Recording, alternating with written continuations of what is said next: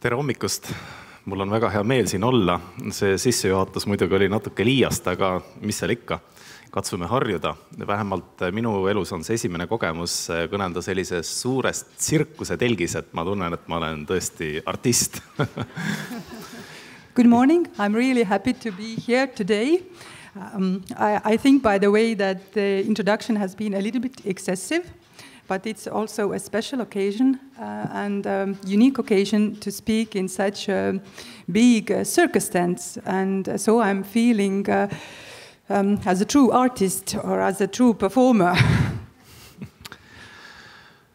ma arvan, et äh, kui me katsume vaadata ette sada aastat, siis äh, ikkagi elukogemus ütleb seda, et äh, tegelikult me peaksime vaatama umbes tuhat aastat tagasi, et siis võib-olla me saame mingi idee, kuidas äh, võiks elu välja näha või milline võiks äh, meie ideaalne elu välja näha saja aasta pärast um,? Uh, when we try look, to look ahead about a hundred years um, then probably the wisest thing to do would be to look back um, at least a thousand years And then we might get some idea how the ideal life um, in 100 years might look like. ma olen küll kirjutanud palju raamatuid, aga ma tunnistan, et võib-olla see, see kõige suurem tarkus on ikkagi käest libisenud. aga hetkel mulle tundub, et üks Eesti väga selliseid ilusaid ja olulisi jooni on vanapärane asustusmuster see, mis tegelikult võib-olla maailmast on suurelt osalt juba kadunud. I have written many books already, but it still feels that the greatest wisdom has sort of escaped me. And I think that one of the true treasures is perhaps uh, the ancient uh, pattern of settlement, which, is, which has largely disappeared from many modern countries already. Ja mulle tundub, et see, mida äh, võib-olla eestlased oma sisimas igatsevad, on, on natuke selline Jaapani-pärane. Jaapanis on väga tore sõna satoyama kultuur, mis tähendab sellist äh, metsaserva kultuuri, kus siis äh, võib-olla metsad ja mäed ja lauskmaa omavahel kohtuvad. I have the feeling that probably mm, what Estonians inwardly and maybe even unknowingly dream about is uh, something which is also uh, similar to Japan, a Japanese um, culture of uh, Satoyama. Yeah. And um, it is a culture at the border of the forest or where forests meet um, plains or mountains. ja üldse mulle näib, et äh, elu muutub huvitavaks piiridel, sellepärast on ka metsaserv hästi oluline ja mererand. Uh, and it seems to me that um, life get interesting um, at border areas, and that's why um, the border or the edge of the forest is interesting, and also the seaside. ma arvan, et uh, noh, eestlaste üks natukene veider joon on see, et tõesti väga paljud eestlased on uh, sõna otseses mõttes metsahullud A specific characteristic to Estonians is perhaps that um, Estonians are um, literally uh, forest crazy. ja võib-olla selline üks metsatüüp, mis ühendab uh, võib-olla mitte ainult eestlasi, vaid uh, kogu soome-ugri kultuuri, on minu meelest selline ilus uh, samblarikas männimets And uh, perhaps one type of forest which uh, connects uh, Finno-Ugric uh, people uh, amongst themselves is this kind of um, pine forest with um, um, mosses, as you can see on the picture. üks väga selline oluline termin Eesti kultuuris on kodumets, see tähendab mets, mis on sinu kodu juures. Ja võib-olla sealt tuleb see side selle sellise jaapanipärase ja eestipärase mõtteviisi vahel. One of the important terms for Estonians is home forest. And it um, refers to forest which is near around your home. And this is also the idea where the connection between this Japanese idea of Jat Satoyama and um, Estonian uh, perception of life meet. jah. aga paraku kõik asjad pole muidugi nii ilusad, kui me tahame ette kujutada. ma arvan, et see, mille kohta, mis eesti keeles kõlab loodusvaeguse sündroom, on tegelikult trüginud ka meie õuele But not everything is um, as we wish it were or not so nice. And it seems that um, this nature deficit disorder is already appearing to our home forest as well. ja tegelikult pole mingit vahet, kas meil enam pole metsa või meil on mets, aga lihtsalt inimesed ei käi metsas. Et selles mõttes on ökoloogilised ja psühholoogilised probleemid tegelikult äh, täpselt ühesugused And it actually does not matter whether we still have forests or we don't have them physically, but people are stopping from going to forest. And in that sense, ecological and um, psychological problems are basically the same or very close. ja võib-olla kõige paremini illustreerib seda lapsepõlve mänguasjad And the best illustration to this perhaps is childhood toys. Äh, mulle meeldib nagu seda probleemi äh, lauale panna ühe lihtsa mõttega. kui meie olime veel väikesed, siis meie jaoks oli kõige suurem karistus see, kui me pidime õuest tuppa tulema. tänapäeva lapse jaoks on kõige suurem karistus see, kui ta peab toast õue minema. My favorite illustration to this problem is that uh, when we were kids, the biggest uh, punishment was when we had to go inside from outside.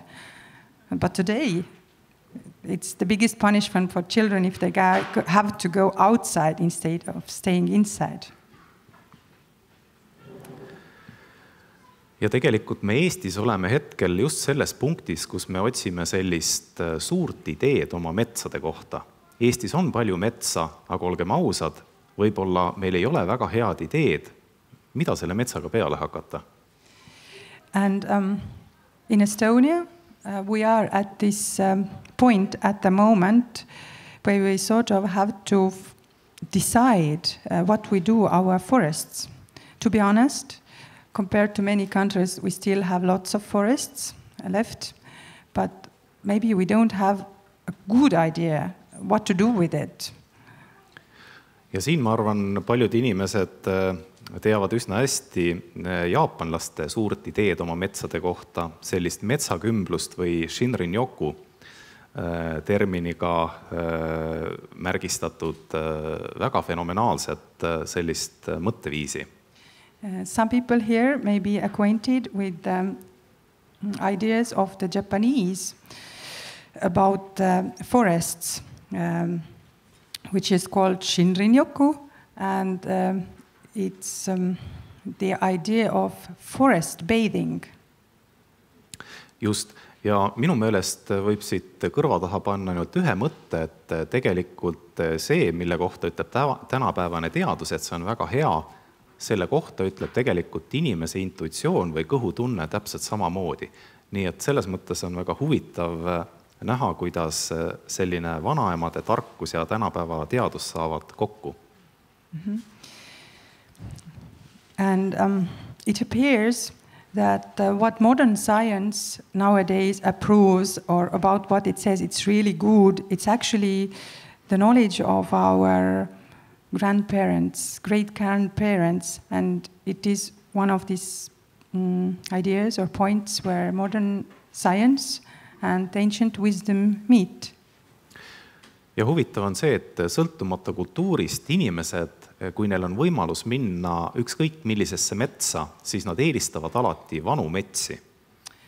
And it's um, irrespective uh, to which culture people belong, when they go to forest, it is interesting that they always prefer old growth forests. just. Aga miks see nii on? vot see on tegelikult suur küsimus. ja mulle meeldib võib-olla nendest paljudest võimalikest üks seletusviis, mille pakkus välja äh, paarkümmend aastat ta tagasi bioloog Edward Wilson. But why is it so?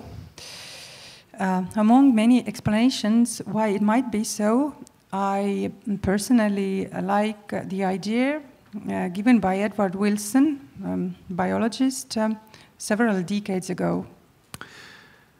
Äh, ja biofiilia hüpotees väidab seda, et äh, kuna me oleme noh, umbes üheksakümmend üheksa protsenti ajast äh, olnud looduses, siis selles mõttes kõik inimesed on biofiilid, nad lihtsalt vajavad enda ümber looduslikku ümbrust, et nende psüühika oleks normaalne mm. -hmm.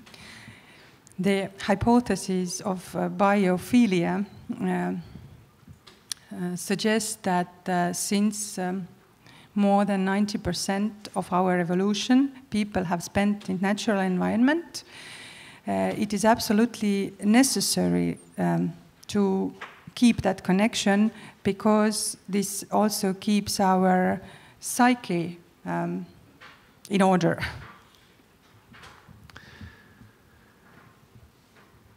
aga mis see biofiilia on? tegelikult, äh, kui päris aus olla, ega keegi seda ka täpselt ei tea. aga mulle endale tundub, et äh, äh, enne seda, kui maailma tekkis kunst, oli selle all inimeste sügav soov otsida loodusest mustreid, mis mingil põhjusel nendele mõjusid um,. Uh, what is this biophilia? Well, Nobody knows exactly, but um, my intuition says that um, perhaps even before art was born, um, there was this um, need of humankind to find patterns in nature, to discover patterns. ja ma ei tea, kuidas, äh, kuidas teiega on, aga ma küll tunnistan, et äh, mulle väga meeldib äh, vaadata puuriitu, ma tunnen, et kuidagi äh, kuidagi minus muutub midagi, kui ma näen sellist väga ilusat, hästi laotud puuriita, et see on tõeline kunstielamus. Um,. I don't know how about you, but I personally um, enjoy a lot to see when you know firewood is stacked uh, in perfect order and it um, gives me great pleasure to observe this. ja õnneks ma lugesin ühte raamatut, ma sain aru, et äh, mul ei olegi tegelikult midagi viga, ka norralased kannatavad samasuguse häire all. And luckily I read one book uh, from which I found out that there's nothing wrong with me really because the, also the Norwegians suffer from a similar syndrome ja mulle tundub, et inimesed, kes elavad äh, noh, ühes geograafilises piirkonnas, neil on mingisugused olulised mustrid, mis tekitavad neile ühise identiteedi um,.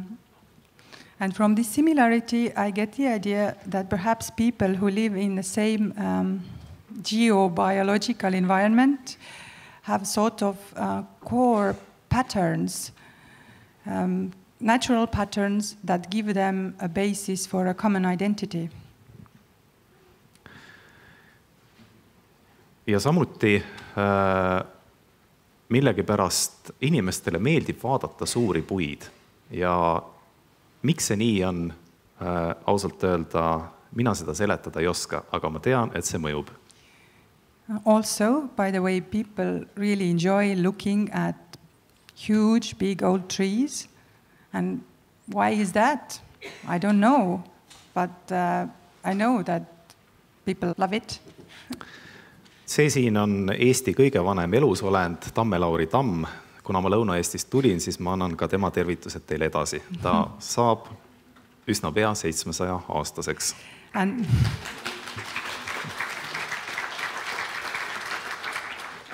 And this is the oldest uh, living being in Estonia, uh, an oak tree from southern Estonia. And since I live there in South Estonia, I also bring you greetings, you all, the greetings from this tree.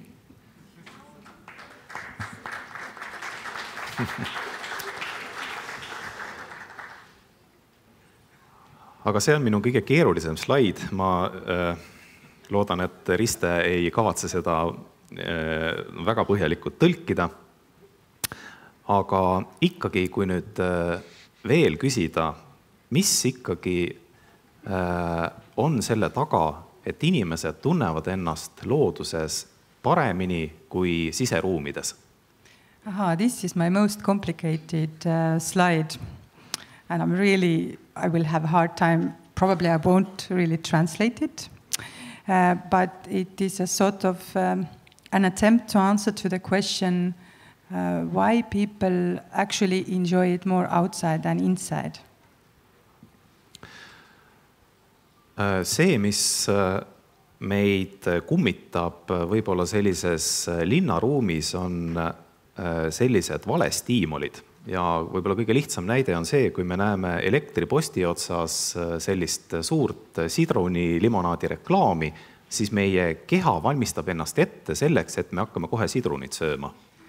Aha, one of the biggest problems in uh, city environment, for example, is um, wrong stimuli. Uh, for example, when we see an advertisement for um, lemonade on an electric pole, uh, our body prepares itself to drink it. Ja kui me seda sidrunit ei saa, siis meie keha läheb tegelikult stressi. And we don't, when we don't get this lemon, our body mm, gets stressed out teine, võib-olla veel põnevam hüpotees on äh, üsna uus ja selle nimi eesti keeles on lahknevusnegatiivsuse hüpotees. Uh, the other hypothesis uh, is a pretty new one. Uh, it's called mismatch negativity. Perfect ja see tähendab seda, et tegemist on hiljuti avastatud ajulainega mis äh, äh, alateadlikult äh, otsib meie ümbruskonnas selliseid signaale, mis annavad meile märku, et tegemist on millegi uuega. Um, and it means uh, recently discovered uh, these sort of brain waves, which are constantly uh, monitoring the surroundings and giving us um, feedback about. Um, kui juhtub midagi uut. When something new is happening. näiteks kui kell tiksub, me ei pane seda tähele, aga kui kell läheb katki, siis me saame aru, et midagi on valesti. Uh, for example, when the clock is ticking, we don't um, hear it, we don't pay attention to it, but that when it breaks, we notice it immediately. nii et see seostub uh, loovuse ja uudishimuga And uh, this is uh, connected actually to creativity and um, curiosity. curiosity yeah. Thank you äh, ja selle mõte on selles, et äh, inimene saab positiivse elamuse, kui ta liigub sellise keskkonna poole, kus, millel on kõrge avastuslikkuse määr Um, and it also uh, follows that the, when a person uh, goes to an environment uh, um, it's pleasant and creative, which has the environment which has a high potential for new discoveries. ja kui me nüüd võrdleme kolme keskkonda, näiteks tuba, linn ja mets, siis me saame aru, et tegelikult ainult mets on nendes keskkondades see, kus meie keha ei saa valestiimuleid ja kus selline avastuslikkuse määr on väga kõrge. And when we um, compare, for example, free environments, which is a room, a city environment, and forest, then only forest is this kind of environment where we don't get uh, false stimuli and where there is this high um, amount of um, um, potential discoveries. nii et me võime seda võrrelda mõnes mõttes äh, sellise autosõidurežiimiga, et äh, aju valib igas keskkonnas endale sobiva sõidurežiimi. et kus on selline komfort, äh, sport pluss, cargo ja metsa kohta ma ütleks kindlasti, et see on sport pluss uh, we can uh, compare it to um, driving a car which has uh, different uh, regimes and the brain uh, chooses um, suitable regime for each different environment. but in for forest, I would say it's definitely sport plus ja eesti keeles, kui vaadata ühe huvitava sõna päritolu, kust pärineb sõna teadma, siis äh, see peaks tulenema väljendist teed mööda. To look at the origin of an important Estonian word, teadma, which means to know, uh, its origins come from um, the phrase along the way, along the path. mis tähendas seda, et teadja või tark oli inimene, kes oskas minna mööda loomade jälgi. Which mean that the knowledgeable person was the one who was able to follow, for example, the tracks of animals. ja minu meelest äh, me võime selle mõtte kokku võtta niiviisi, et tegelikult äh, miks väga paljudele inimestele meeldib käia metsas seeni ja marju korjamas, see on tegelikult kõige vanem aju treenimise vahend Uh, to sum up, uh, why many people enjoy being in the forest in Estonia, for example, to gather berries, forest berries, and uh, mushrooms. It is the most ancient or one of the most ancient ways of um, uh, training your brain. mis tähendab seda, et sedasama lahknevusnegatiivsust, mismatch negativity, seda tuleb treenida nagu kõiki teisi asju which means that this mismatch negativity has to be trained like uh, all other things. Äh, ma loodan, et enamik inimesi tunneb ära selle marja, mis siin äh, vastu vaatab, see on rabamurakas I hope that many people here recognize the berry, which is on the slide. It is um, cloudberry ja mulle rääkis üks folklorist, kui ta läks meie vennasrahva vepslaste juurde, siis äh, ega neid enne omaks ei võetud, kui nad tegid läbi ühe testi. Nad pidid minema äh, hommikul rabasse ja õhtul sealt murakakorviga välja tulema. ja kui karu neid ära ei söönud ja nad marjadega tagasi tulid, siis nad võeti omaks. And I heard the story from, from one folklorist who went to study another um, small Finno-Ugric um, group of people. They had to pass a test first, and it was about uh, going to the bog in the morning and returning in the evening with full baskets of cloudberries and not having been eaten by the bear. And when they managed, they had passed the test. ja võib-olla üks äh, asi, mis iseloomustab sellist äh, Läänemere-Soome meelelaadi. see on nüüd minu leiutatud termin väike karuindeks And another thing that might well characterize um, the mentality of uh, Finno-Ugric people, and this I have um, um, come up by myself, it's a small bear index see tähendab seda, et äh, see mõõdab vahemaad linna südamest ehk siis Raekoja platsist esimese karuni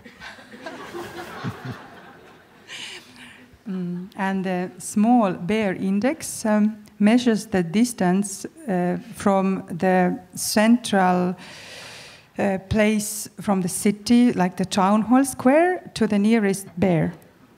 ja Eestis on see üsna väike. And in Estonia it's pretty small ja võtame siis kogu selle jutu kokku. see on väga lihtne, ma loodan, et äh, Riste võtab selle veel lühemalt kokku. et äh, liigne viibimine siseruumides muudab inimesed haigeks ja lõpuks ka lolliks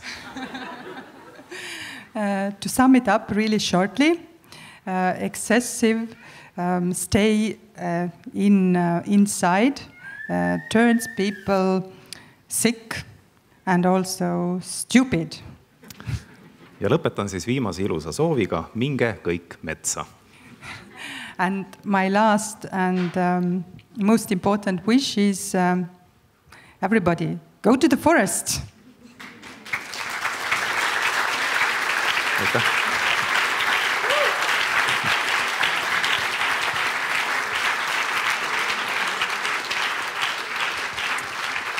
aitäh, Valdur. Mul on väga hea meel näha, et, et saal sai selle soovituse sümboolsusest aru ja ei võtnud sinu juhtnööre kohe järgida. kõigepealt esinemise eest väike tänu.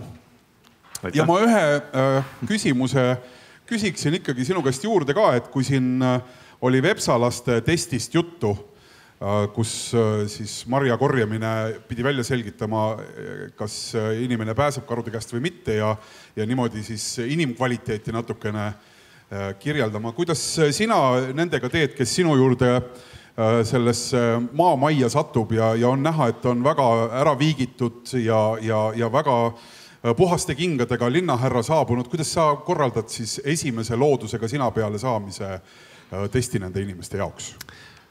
no mõnikord ma olen teinud sellise testi, et, et ma palun neil metsast tee jaoks ravimtaimi tuua, et kuna mul tee sai just otsa.